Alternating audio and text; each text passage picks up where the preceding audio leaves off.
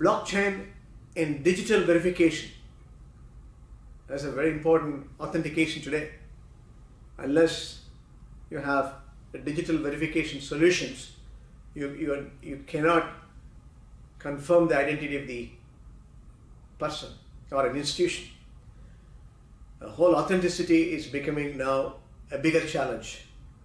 So much impersonation taking place, so much duplication has been taking place, so much fictitious transactions are pushed across the network. For security purpose, the blockchain in fintech, users can choose how they identify themselves and with whom they agree to share their identity. Very important.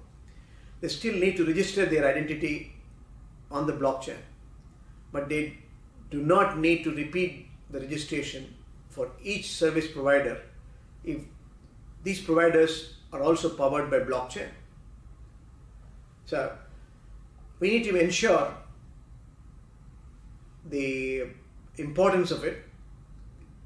Cambridge blockchain and Stady are examples of fintech startups that are using used for disrupt the banking and working on blockchain based customer identification systems.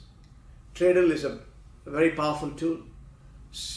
Again, Cambridge also being used by very many institutions. They are just startup, but importance of digital identification that that's a source of confirmations. So it is coming out with full scale security controls, and that is going to be a useful tool for us to pick it up because when you have flow of transactions and it has to be speed and accurate, you need to have a complete authentication of the digital source.